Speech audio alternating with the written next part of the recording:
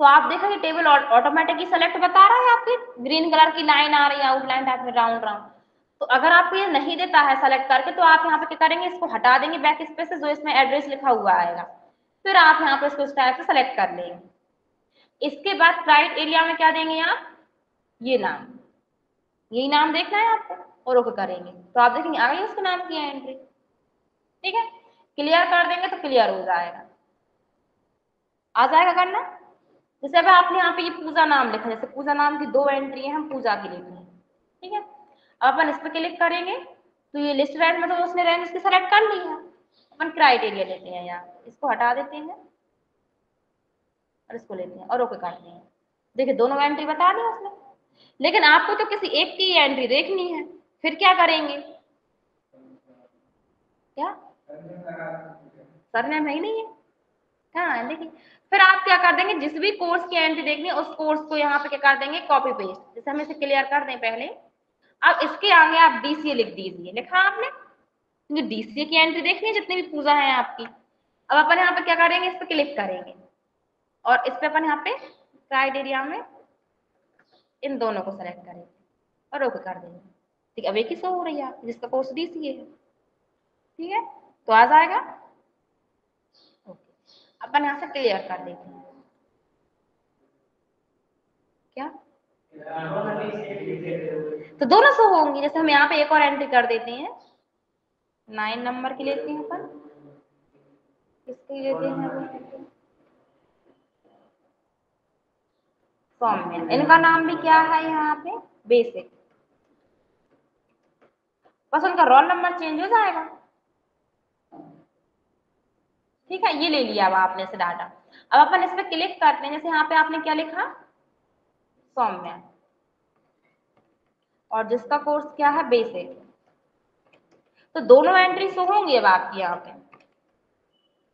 अब आप क्या करेंगे? यहाँ पे इस पर क्लिक करेंगे। ये तो टेबल सेलेक्ट कर ली उसने इसे हटा देंगे और इसमें अपन ये ले लेंगे और ओके करेंगे। तो देखिए, दोनों एंट्री शो हो रही एक आपकी थर्ड नंबर पे और एक नाइन नंबर पे। बट उनका रोल नंबर चेंज है। तो आपको एक किसी का देखना तो उनका रोल नंबर से देख देंगे हम। एक किसी की एंट्री शो हो जाएगी। ठीक है? आ जाएगा क्लियर कर देते इसके बाद नेक्स्ट इसमें रहता है आपका कॉपी के लिए। अभी आप यहाँ पे देखेंगे कॉपी टू वाला ऑप्शन आपका हाईलाइट नहीं हो रहा है। क्यों? क्योंकि अभी आपका यहाँ पे फ़र्स्ट ऑप्शन सेलेक्ट है। ठीक है? अगर आप चाहते हैं इस ऑप्शन को अपन क्या करते हैं यहाँ पे सेलेक्ट करें? तो आपको ये देखिए, ये वाला ऑप्शन हाईलाइट हो जाएगा कॉपी टू वाला। तो अपन क्या करते हैं इसको? लिस्ट रेंज में क्या करेंगे आप? टेबल सेलेक्ट करेंगे। ठीक है? इसका क्राइटेरिया में क्या लेंगे?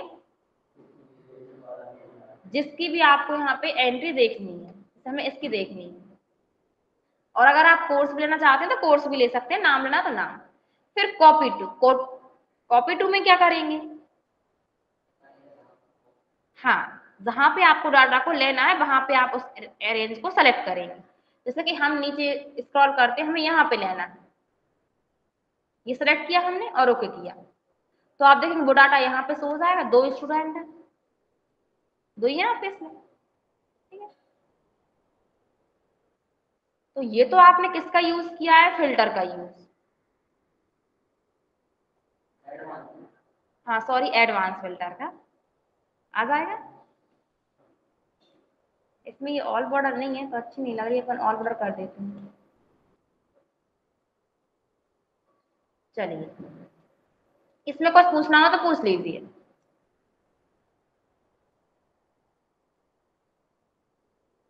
हम पूछे? शिफ्ट कंट्रोल एल चलिए, आप बताइए हमें कि ये जो ऑप्शन है प्रॉपर्टी इसका क्या यूज़ है?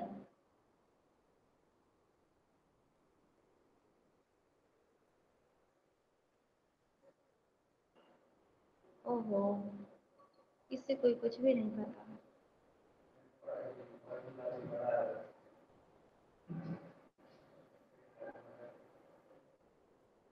हमने बताया तो था। इसका यूज़ कब होता है? जब आप यहाँ पे फ्रॉम टेक्स्ट के द्वारा टेक्स्ट का डाटा इस एक्सेल में लेकर आते हैं और उस टेक्स्ट में आप कुछ और अपडेट करते हैं तो आपको यहाँ पे रिफ्रेश करने के लिए दोबारा फ़ाइल देता है। अगर आप चाहते हैं कि डायरेक्ट रिफ्रेश करें तो अपन इस ऑप्शन का यूज़ कर देते हैं। जैसे कि इसे हटा देते हैं हम, जैसे कि नहीं नहीं नहीं, हटाते नहीं है कंट्रोल जेड करते हैं। प्लस के साइन क्लिक करते हैं, इसमें लेते हैं। अपन ने एक टेबल, सॉरी, डाटा लिया हुआ था। किसके द्वारा लिया था अपन ने डाटा? फ्रॉम टेक्स्ट अब इससे कैसे ले सकते हैं? पता है किसी को? ओहो, सब भूलते जा रहे हैं। नोटपैड में लिखते हैं ना अपन। उसके द्वारा लेते हैं। तो अपने पास फ़ाइल पहले से सेव है नोटपैड के। अपन इस पर क्लिक करते हैं। और इसमें अपन ये ले लेते हैं ये वाला। ठीक है, ये लिया अपन ने और इनपुट और यहाँ पे क्या लगा हुआ है ये? अच्छा ये वाला सिम्बॉल है। तो अपन अदर पे क्लिक करते हैं और यहाँ पे सिंबल दे देते हैं। और यहाँ पे नेक्स्ट करते हैं, यहाँ से नेक्स्ट करते हैं। तो अपन डाटा कहाँ लेना चाहते हैं, वो रैन सेलेक्ट करके ओके करते हैं। ये किया था अपन ने। ठीक है? अब ये देखिए इसमें स्टूडेंट नेम में तो स्टूडेंट का नाम आ गया। कोर्स में कोर्स आ गया उनका और फ़ीस में उनकी फ़ीस आ गई है। अब जो डाटा आपने जहाँ से लिया है, वहाँ पे आप कुछ और भी एंट्रियाँ करेंगे उस डाटा में?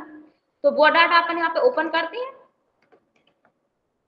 ठीक है डिस पीसी ओपन किया आपने, एच ड्राइव ओपन की, और यहाँ पे एस क्लास फोल्डर। इसमें क्या, किस नाम से था? ये था। यही था? इस टाइप से अपन डाटा देते हैं। आपने शायद कॉमा लिया होगा इसके बीच में। हमने दोनों टाइप से लेकर बताया था लास्ट क्लास में। एंटर करते हैं यहाँ तो यहाँ पे अपन कुछ और भी एंट्री कर लेते हैं।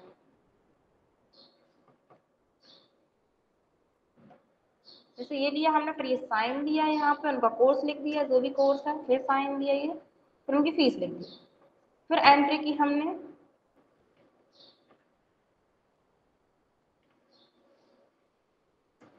ये हमने कुछ एंट्री कर ली इसमें और इसे अपने सेव कर दिया कंट्रोल प्लस एस से। अब ये जो एंट्रियाँ हैं, आपको एक्सेल में अपडेट करना है।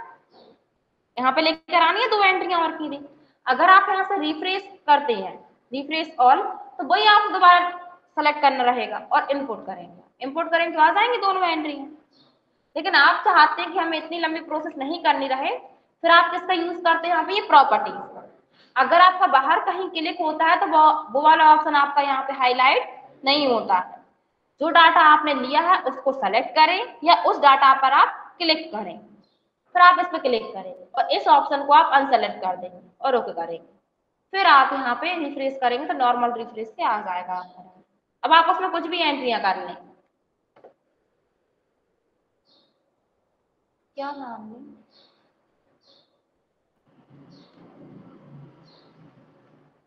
ये हमने नाम ले लिया।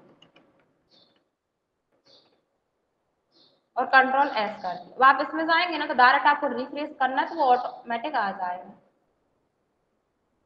ठीक है? तो आप ये वाले ऑप्शन भी करते चलना तो आप लोग भूलते जाए। क्लोज कर लें